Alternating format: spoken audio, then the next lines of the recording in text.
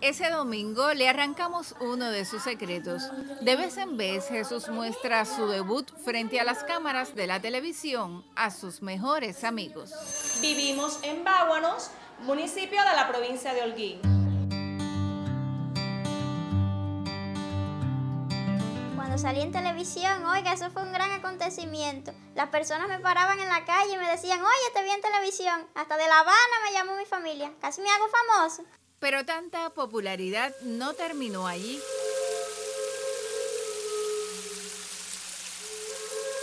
Sí, Jesús. Báguano es uno de los lugares de la provincia donde se han descubierto mayor número de sitios arqueológicos y lugares de tránsito aborígenes. Los orígenes precolombinos de su pueblo sacudieron la inspiración y un concurso le reconoció en Cuba.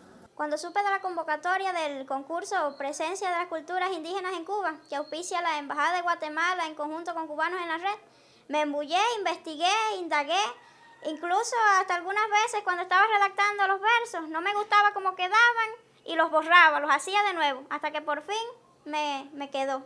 ¿Qué pretendes con esta obra?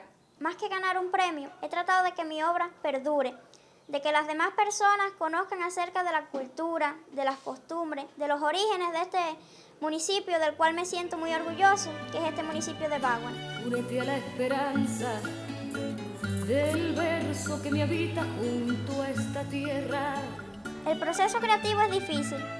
Para un niño normal hubiese sido fácil, pero para mí no. Yo tengo artritis reumatoidea crónica, lo cual me dificulta trasladarme a largas distancias porque me provoca dolor.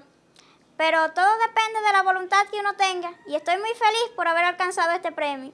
El jurado evaluó más de 100 trabajos realizados en varias provincias del país. Fue el indio lanza en el viento. Fue flecha en Monte Sombrío. Jesús ganó el premio entre versos. Holguín Terruño Divino de la historia Una Tribuna, considerada la cuna del arte precolombino. Este holguinero cursa el décimo grado. Los médicos aseguran que su enfermedad es irreversible, pero él guarda ciertas picardías para enfrentarla. A mí siempre me ha gustado participar en concursos porque esto es una forma de ponerme a prueba a mí mismo, de que yo lo lograré.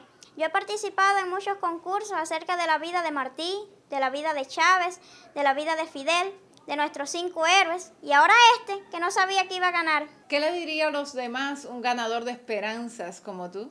La vida hay que enfrentarla con optimismo. Y estoy muy feliz y no solo satisfecho por este premio, sino por la honra de sentirme escuchado.